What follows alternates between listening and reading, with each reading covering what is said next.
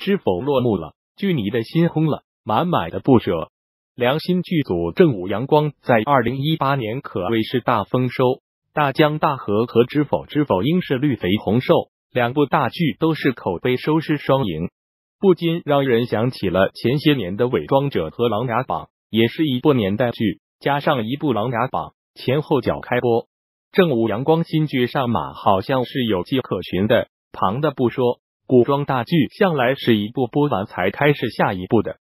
这厢知否刚结束，新剧《孤城闭》马上就提上日程了。王凯接档赵丽颖，撑起正午阳光的下一部古装剧《孤城闭》，讲述的是宋仁宗一生的故事。导演张开宙也是知否的导演，知否的成功，相信能够给予张开宙导演更多的信心。张开宙原是摄影出身，算是正午阳光当家导演孔生的徒弟，近年才开始真正独立指导。虽然比起孔生导演的操盘能力略有不足，但是如果蜗牛有爱情和知否两部口碑剧足以证明他的实力逐渐走向成熟。二零一九年，王凯有点忙。王凯算是正午阳光的亲儿子了，近年来的大剧都能看到他的身影。今年王凯有两部大剧要拍，《大江大河二》和《孤城闭》，年代剧加古装剧，正好符合正午阳光的套路。正午阳光目前正在拍摄的剧集中，《孤城闭》是仅有的古装剧，重要程度可想而知。在大江大河中，我们再一次看到了王凯的实力和诚意。王凯曾经饰演的靖王深入人心，再次挑战古装，王凯是否也能演好呢？看完定妆照，你对他就有十足的信心了。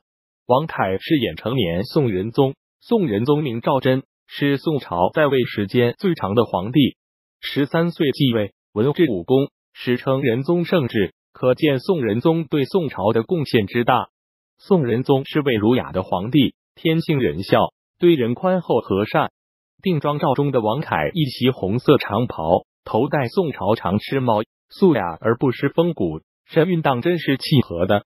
女主角江疏影饰演曹皇后，是宋仁宗的第二任皇后。出身将门，母仪天下的同时，也不失巾帼风范。定妆照中的江疏影扮相略显成熟，温婉浅笑，应是为了突出其一国之母的威严。江疏影鲜有参演古装角色，以往常惯有的角色戏路来看，需要下一番苦功了。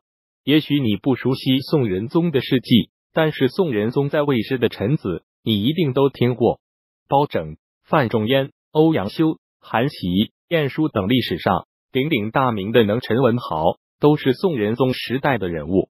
目前除了包拯未提及之外，范仲淹、韩琦、晏殊等都会出现在剧中。范仲淹的扮演者是刘军，看过《知否》的观众应该很熟悉吧？盛家的主君红狼师爷，和《知否》中唯唯诺诺、明哲保身的盛家老爷不同，范仲淹视为铮铮铁骨的改革派，锐意进取。最终因新政失败而被贬，和王凯的对手戏应该很有看头。晏殊则由秀才喻恩泰饰演，喻恩泰对于这样的文戏可谓驾轻就熟。不论是吕秀才还是张仪，喻恩泰都能演得入木三分，这次应该也不例外。不过，喻恩泰和王凯的对手戏估计不多。历史上的晏殊在宋仁宗即位的第二年就病逝了，那时宋仁宗才十四岁左右。还未成年，想来玉恩泰的戏份更多是和少年宋仁宗一起出镜了。从目前曝光的定妆照和剧来看，剧组还是一如既往的对服化道有着强迫症式的要求，光感和画面很舒服，仍旧是良心的。